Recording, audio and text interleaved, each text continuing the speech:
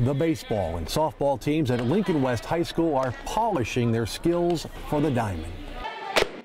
Senior Carlos Ortiz is getting scholarship offers to play baseball in college. That wouldn't happen if the team didn't exist. Whenever I'm stressed or about school or anything and I want to practice, I go out to the field, go to a facility, and I can basically release all my stress there and forget about the rest pretty much. So it kind of keeps me away from the negative, um, keeps me on a good path. A lot of us focus on softball, like getting our grades together to play softball, being eligible. For 16 years, Cleveland Indians Charities has paid $200,000 every year to fund 20 teams at 10 Cleveland high schools. Otherwise, the school district wouldn't have the money to keep these spring sports alive. If they wouldn't do it, nobody else would, and then we wouldn't have softball, we wouldn't have nothing to lean on. And it's basically our escape from all of our problems, pretty much. Running at one again, running at one.